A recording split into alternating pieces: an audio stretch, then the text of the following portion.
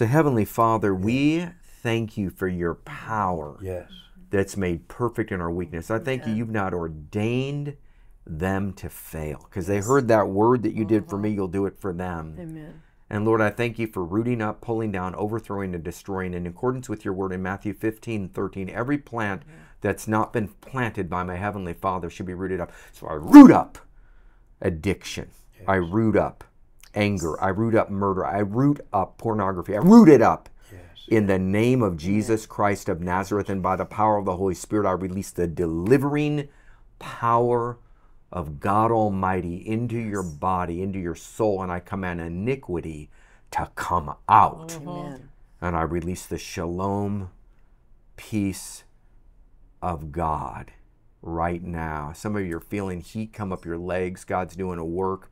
God's removing alcoholism at the root from you. Yes. And He's rewiring your brain. And I command your mm. brain, your mind to mm-hmm. default to the mind of Christ Yes. right now to where your stinking thinking that Bill and I had is gone. And now mm-hmm. you've got the genius thinking of the mind of mm-hmm. Christ. Christ in you, the hope of glory. In Jesus' name. Joanna, would you share your story about fear, how you would run and hide, and now you're mm. on broadcast to 100s of million homes? Yeah.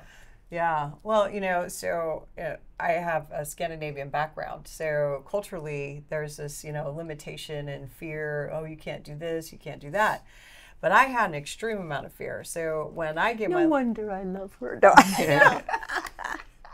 And so when I g- got saved, um, when I gave my life to the Lord, I started going to, you know, prayer groups and Bible studies and things like that. And if I thought somebody was going to ask me to pray publicly, I would literally get up, run to the bathroom, and wait in the bathroom until they were all done praying and leaving. And then I would come out.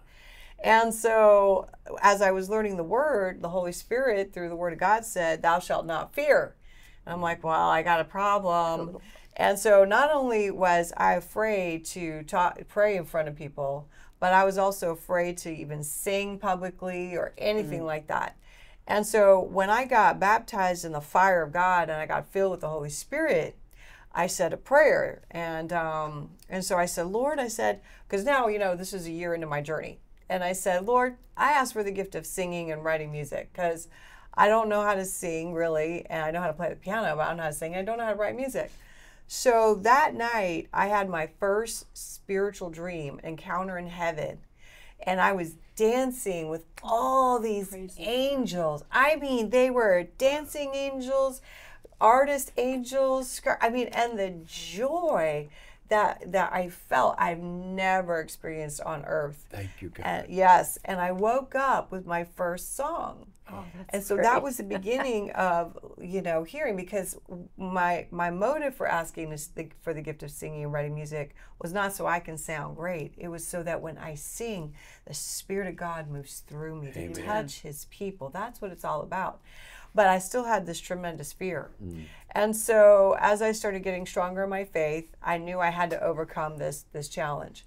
And so one of the things that I did to break this challenge was I lived in Southern California at the time, and they used to have this big, huge country western um, club, and they had these uh, contests there, and these big name musicians would come from Tennessee and all these places, and they would sing and they would compete. So Like karaoke. well, no, it was singing to a real band. Oh, it was okay. karaoke, but it was singing to a real band, but it was a contest, yeah. Yeah, yeah. And so I had never sung on stage, and I was scared to death. And I thought I was going to pass out and everything. And so I had picked a Shania Twain song, and I'd never sung with a band, never been on stage. my gosh. And, and then I was so nervous, I blanked out. So I had to make up the words to the song that everybody knew. and I just felt like the biggest flop, failure, horrible singer, right? And so uh, after I was done singing, I was just distraught. But people came up to me and they were so supportive and kind. And they're like, "Oh, Joanna, great job getting up on stage. You did good. Keep keep on going." And I'm like, oh, okay. And so, but I had knew I had to be obedient to the Lord, and I had to have this broken. So you know, it was a process for me uh, because there was multiple layers of the fear. So I got over my fear of singing, then I had to get over my fear of standing, uh, talking in front of people. So I joined Toastmasters, and I overcame my comfort zone. And so, you know, I encourage everybody if you know what your stronghold is, you have to fight and press through it. Yeah. Because I did not want to be judged by God for doing something I know I needed to do and I didn't do it. And because of my disobedience, I caused other people to lose their salvation or not get their Not get salvation. their salvation. Not hear the word, yeah. Not hear the word that God gave for me because God has given every single person a message inside. And only you, Bill, can deliver your message. Only you, Debbie, can deliver yours. And David, we're, a, we're each created to be a diamond. And diamond has facets, and you know, diamonds are forged in the fires of the earth, where it's tumultuous and hot and fire, and it's hard and it's painful. But it's that life is represents that fire. So, you know, we've all been in the fires and we're forged in the fires, but that's what creates the diamond, the facets of the diamond. And we reflect God's image. So I knew I had, I knew that. And so I, I had to push through no matter what. And that's how my, I, I broke through. And then the Lord began to teach me how to be a prayer warrior. And because I would, I'd never had encounters with devils. I didn't even think they were real. Yeah. You know, and well, I, I sure got my mind changed. you know, when I got attacked by demons in the middle of the night trying to choke me and suffocate me. And, you know, I would be so afraid. I would sleep with the light on every night. I would have worship music playing and I would literally read Psalm 91 because that's all I knew to do. But then the Lord began to train me as I began to break my fear. God has not given me a spirit of fear. He's given me a spirit of power, love, and sound mind. Amen. So I began to declare the word of God and I asked God, take, deliver me of this fear. I don't want this. I renounce it. I give it up. I ask for forgiveness for this fear. And I choose not to walk in this fear. So, and so because of that, then God would begin to highlight to me, I want you to go talk to the truck driver in the middle of, in the street in his truck in the middle of the alley. Hmm. I'm like, what? Are you sure on that? Is this one? from you, God? Okay. and so I did. So I was with a friend, and um, and I was debating: do I go talk to this man and I didn't know in the middle of an alley? And she's she's scared. She's like, "We got to get out of here." I'm like, "No, the Lord's telling me we got to talk to this man." So right when we're in that moment of decision, he says, "Hey, what are you two ladies doing here?" And I'm like, "We're here to go to this concert. It's uh, and where they sing about Jesus. Do you know who he is?" Ah, nah, nah. I said, okay. I said, well, what are you doing here? He says, well, I'm resting. I said, oh. And so we started just talking with him. And then I mentioned that I sing. He says, oh, you sing? He says, will you sing something for me? For me. I said, sure, I will sing something for you. So in my mind, I'm like, Lord, what do I sing? What do I sing? So the Lord gave me a song to sing, and it was Amazing Grace. And and so I got him this way. I said, um, I said, well, before I sing, I always ask God if I can. I just thank God. Can I just pray really quick and thank God? He said, sure. So that was my opening to pray for him. Mm-hmm. There you go. So I included it in there, and then I sang, and the Spirit of God hit him, mm. and he started weeping. Praise the Lord. And we ended up leading him to Christ. yes. But see, I would not have led him to Christ if I hadn't broken through my fear Right. And to overcome that and get deliverance, like David was talking On about. down some Joanna, dark would alley. you Yeah. sing a song as we close out this segment? Something that what, did you get a song when you were taken to heaven to dance with the angels? Yeah, I've gotten several songs, but I, I feel like I want to release a, a Hebrew blessing because everyone needs to feel a blessing from the Lord. They need to feel His presence. Amen. And so this is in Hebrew, and it means, Blessed is the Lord our God, King of the universe. Blessed is his holy name. Adonai loves you, and he's healing your land. Amen. So, Lord, I thank you for your presence Yes. as I sing, and that your spirit goes out to every person who's listening to this broadcast. And that you, Lord, will shine your light in the darkness of their soul and illuminate your love mm. that you have. No matter what we've done, no matter how bad or what we didn't do and we should have done, no matter what, it is the blood of Jesus that was shed for us. Mm. And so, Lord, I thank you for this blessing in Hebrew.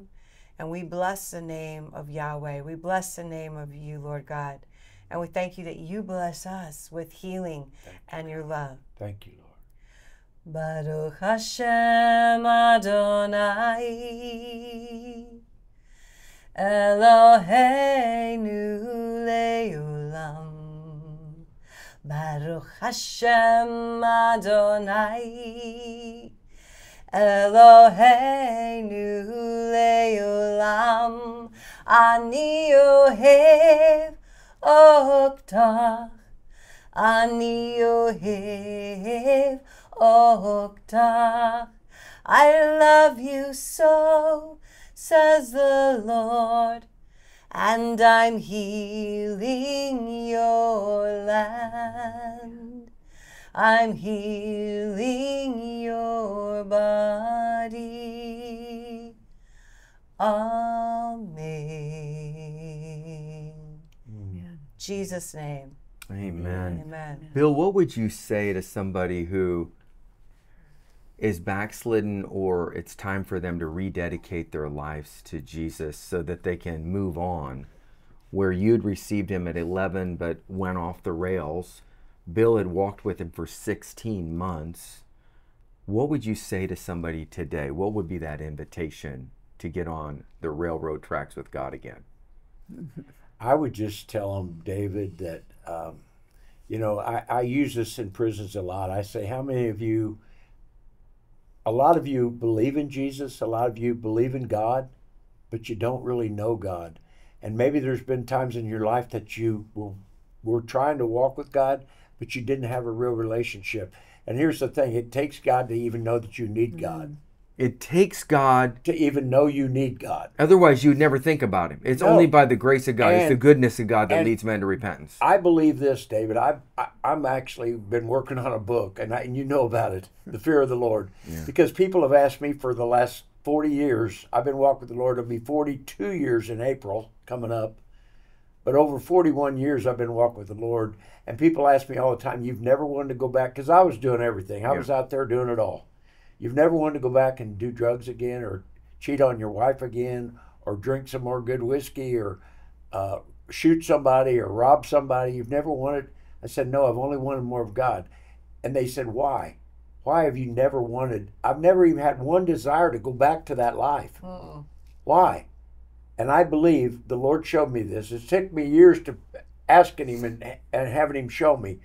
But early on in my walk with the Lord, I heard a man teach on the seven spirits of God out of Isaiah 11. Well, one of those spirits is the spirit of the fear of the Lord. Mm-hmm. And that really piqued my, you know, it piqued my interest, and I began to study the fear of the Lord. And there's a direct connection because guys go, well, I don't want to sin anymore, but I don't, you know, I hear pastors going, well, we're just old sinners, we're born mm-hmm. sinner. You know, I'm not a sinner. Yeah. I'm a child of God. That's right. I'm redeemed by the mm-hmm. blood of Jesus. Mm-hmm. I'm not a sinner. Do I sin sometimes? Yeah. I'll get in a disagreement with Debbie and say something that's hurtful, mm-hmm. but I can't go over about a minute without asking her to forgive me. Because of the fear of the Lord. Yes, but the fear of the Lord. So if you don't want to sin, I'm going to give you a little little secret right here. There's a direct connection between the fear of the Lord and sin. And when you say fear of the Lord, you're talking about the reverence of God and also Yes. the fear of God Yes. because you don't want to hurt God and you want to stay in his presence if we can if we walk in the light as he is in the light the blood of his son cleanses Right. us from all sin. Right. If we have hidden sin it's cuz we're not walking in the fear of the Lord. Right. But that reference, I mean, that reverencing Him mm-hmm. Mm-hmm. will never really understand because if you don't have a revelation of who He really is, Yeah. you can't have a revelation of how much you need Him. Yeah. Right. Mm-hmm. The average person doesn't understand. David, I believe that I, I'm going to go out on a big limb here. It's really a thin limb I'm getting ready to go out on. Walk by faith. But listen, brother, I believe a. I used to throw a number out. I don't know if I want to do that, but it's a large majority of the people who call themselves Christians, the mm-hmm. body of Christ, that disobeys the first commandment. Hear, O Israel, the Lord thy God is one God, and you shall love the Lord with all your heart, with all your soul. There's something in their life more important than God. Yep. Mm-hmm. Something. Which, which the anything anything that's more important is an idol. Yeah. Absolutely. And the reason there's something more important in their life is because they don't really know who He is. Right. Because when you really know who He is, Yeah. you won't want anything else. Why You would you why would you go after copper when you have gold? So here's the direct connection. God's gold. Exodus 20. This is the direct connection between sin and the fear of the Lord. The people told Moses, Don't let God speak to us lest we Ah. die. Mm-hmm. And you know what Moses said to them? Don't fear God that you might die, fear God that you might not sin. Yeah. So there's a direct connection between the fear of the Lord and sin. Mhm. And then one of my favorite chapters in the Bible is because I love the Bible. And one of my favorite chapters is Psalms 119 because it's the longest chapter in the Bible. It's 176 verses. There's only three verses in all of those verses that doesn't talk about the word. Some of it says the testimonies, the word, the law, the Ordinances. statutes, the ordinances, but it's all talking about the word of God. But Psalms 119, 165. So pe- I ask people, do you, you want peace in your life? Mhm. Here's a promise Psalms 119, 165. Great peace shall you have if you love my word. Mhm. But then it goes on to say, Great peace shall you have if you love my word, and nothing will make you stumble. Mhm. Some versions say nothing will offend you. Mhm. Well, if you don't get offended, you probably won't stumble. Right. What's stumbling? Sin, falling away from God, Falling short of the stumble. gr- Do you want a promise to never backslide? Psalms 119, 165. Great, great peace will you have if you love my shalom word. peace. If you love my word, and nothing will make you fall. Nothing will make you stumble. I mean, that's a promise, brother. Mm-hmm. But the main thing is the fear of the Lord. There's a direct connection between the fear of the Lord and, and sin. Let's pray for a release of the fear of the Lord and invite people into that secret place with the Lord, if you would, Bill, in closing. I want to say this before I do that. Um, just as I said earlier, it, it, it takes a revelation from God Yeah. To understand who He is mm-hmm. before you'll even want the fear of the Lord. Before you'll, e- you know, Proverbs twenty-two four says, "In the fear of the Lord, in in humility and in the fear of the Lord are riches and honor and life." Mm-hmm. And I prayed that verse over Debbie and I for years. Every day, every day, I prayed that over us. Father, would you clothe us in humility? Would you clothe us in the fear of the Lord? Because you can't just say, I think I'll have the fear of the Lord. I think I'll start fearing God. Doesn't work that way. It's He's a got- gift. it's an invitation. He has it's to draw you in. He's got to draw you. something really good. Joanna wants to add something. I, I want to add something Yeah, really quick come in closing. Joanna. So, I knew God as a little girl, um, but then life happened, things got hard, and and I walked away, and then I was in the world. So I believed in God, exactly what you said. I believed in God, I believed in Jesus, but I didn't know Him. Yes, amen. So I was at a church service a friend had invited me to, and it was a huge church service. And uh, there was a pastor there, and the, the message was written just for me. And so he gives this altar call, and he says, I want to invite those of you who know, don't know Jesus, come on, come on up. He says, but then I want to invite those of you who, who you believe in God, but you don't know him. And my heart started pounding. I oh, thought, oh, I'm not going in front of all these people. Oh, no way, uh-uh. Well, all of a sudden, my legs got up, and I followed. And I walked up to that altar. And here's what I said. I said, Lord, I don't know you. I don't love you. But today, I ask that you put a love in my heart and a mm. passion for you that I've never known. Amen. And I will do it your way. Amen. Change me. Yes. That gave God permission. Amen. Is when I said, change me. Yes. And guess what? He did. That was the beginning of the most incredible journey of my life. Amen. And then- Joanna, that's what I tell guys all the time is ask God.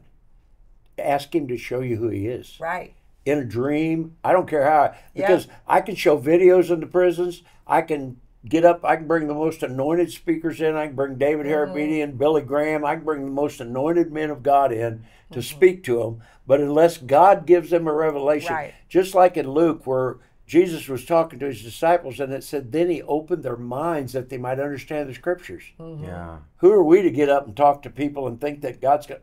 Jesus Christ had to pray that, that then he opened their minds. Right. So we need to we need to have their minds open that they will really understand who he is. So yes, let me pray that mm-hmm. prayer. Yeah, let's do it. Yes. Father, I thank you, God, for this time together with my friend David and his wife Joanna and my precious wife, Lord, Debbie.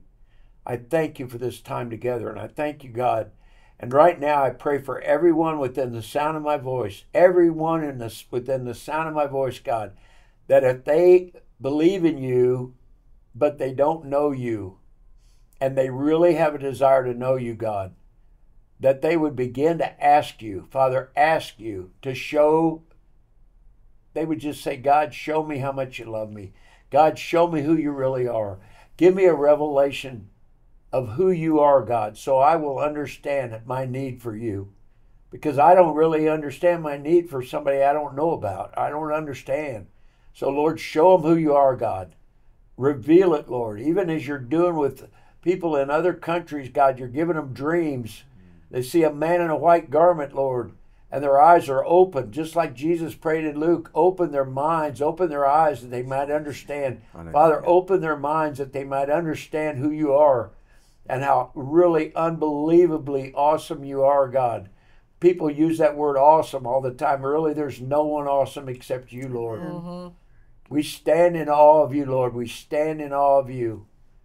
And I ask you, Father, to release right now in Jesus' name to the people listening to me, release to them a revelation of your love. Release to them a revelation of who you are, God that they might begin to walk in the fear of the Lord, that they might be, begin to reverence you, Lord, and their lives would be changed forever, Lord, not just for a moment, not just for a year or two years, and then they go back to their old ways, Lord, that they'd never want to go back because they'd understand who you are, Father. Yes. Abba, would you do that for me, God? You said, if I ask anything according to your will, you hear me, Lord. Mm-hmm. First John, Lord, I ask right now according to your will, because you said you're not willing any would perish, but all would come to repentance. Lord, you your word says that you long and wait for those that will come to you. Yes. You long and you're waiting for those that will surrender. And I ask you right now, give them a revelation, Lord, of who that of who you are. Everyone listening, God, give them a revelation Open their eyes right now, Lord. Mm-hmm. Open their open their minds. Take the blinders off their eyes and off the take the blinders off their minds, Lord. Mm-hmm. And I thank you, Father. I believe you're going to do it, Lord. I believe. I believe because your word says you will. That's right. And I thank you, God, for your word. It never returns void. That's right. In Jesus' name, amen. Amen. Amen. amen. Bill, Debbie, what a great time. Oh, yes, man. Thank you. Awesome. Can you guys come back to Kansas City yes. soon? We, we can. We'll have to come back. we love you guys. Yeah. We love you, you Know, you know, David is uh, my friend that's been out of prison. I met David in prison uh, 15 years ago yeah, you were coming in for a ministry I session. I was coming in for a ministry, and a guy said, "Hey, tell my old celly I said hi." And I said, "Who's that?" And he said, "David Hairabedian." I said, "Well, how am I going to find him in the in Leavenworth Penitentiary?" And he goes, "Well, he'll be in the chapel." I said, "Well, there'll be a lot of guys in the chapel. How am I going to find him?" And he said, "You'll know him, Bill." And I said, "Oh, okay." I walked in that chapel full of men, and the only guy I could see was this one guy. Looked like a spotlight on him. And I walked over and I said, Are you David? He said, Yes. I said, Well, Jerry Capra said, Tell you hello. and David goes, Oh, wow. Tell Jerry I said hi. And I said, Well, I have something to tell you too. I never seen the guy in my life. Hmm. I said, I have to tell you this. The Bible says we're supposed to let our light shine, but it doesn't say we're supposed to blind people. you need a pillowcase over your head. he looked like he had a hundred watt light bulb in his mouth. His face was glowing. You know why it was glowing? Because even in the Word, when it talks about the disciples, it said that they could tell they had been with Jesus. Yeah. When when uh, uh, Moses went up and got the Ten Commandments, he came down. He had to put a veil over his face because his face was shining because he had been with God.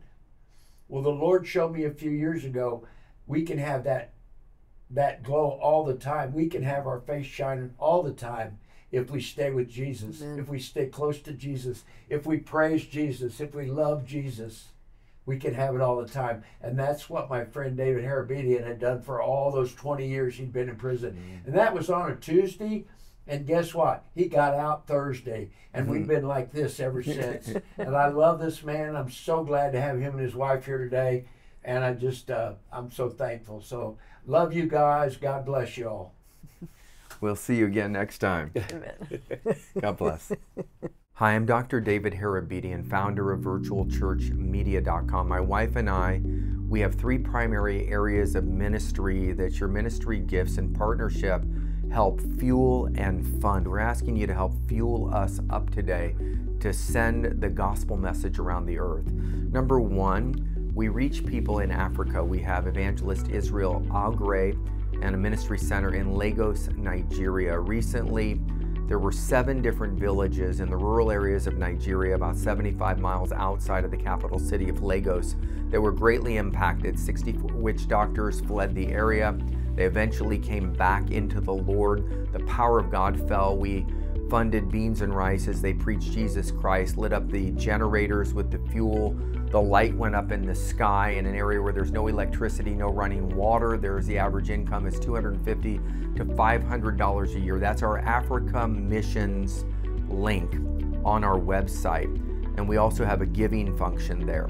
So it was reported that of those seven villages over those 35 nights, 170,000 people were impacted and committed their lives to Christ.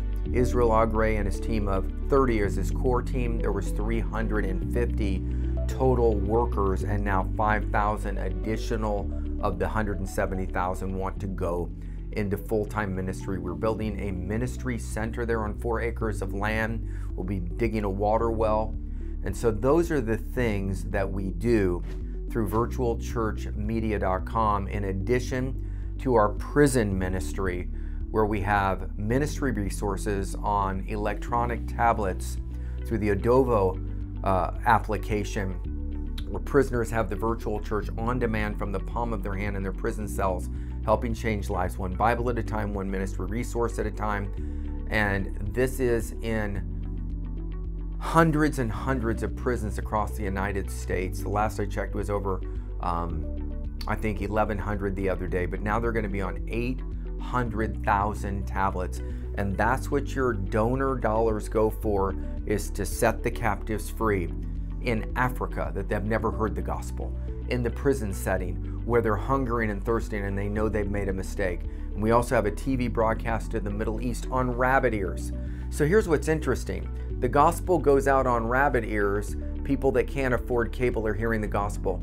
They're not able to fund backwards to meet the needs of the ministry. Prison ministry not able to fund, making 12 cents an hour, but they're hungry for the word of God and there's a captive audience. Africa ministry, average incomes 250 to $500 a year in the rural areas, uneducated, maybe 10% even can read and write.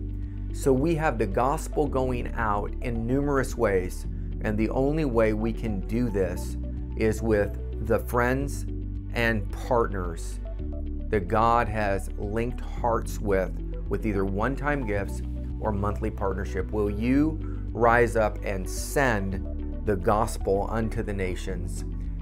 And ask the Lord right now, just take one moment to pray and obey, and whatever that number is that God put in your heart for a one time gift or a monthly partnership, I ask you to do it. I'm David Hairabedian, and I approved this message. Thank you in advance for obeying the Holy Spirit today.